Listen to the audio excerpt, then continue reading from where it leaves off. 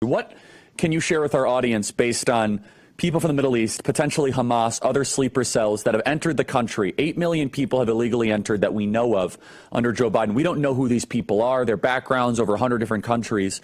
Do you think that there's a chance that there might be unidentified sleeper cells in this country? Not trying to fearmonger, just trying to talk the facts yeah. of people that have entered this country illegally. I mean, boy, I hope not. But when you have that volume of people come into the country, not to mention all the people we don't know about who are the so-called gotaways. When that happens and you have all these different countries, and you know that the ones that we have encountered who are on the terrorist watch list, that number is higher than it's ever been. It certainly makes you wonder uh, that, you know, could, could that be the case?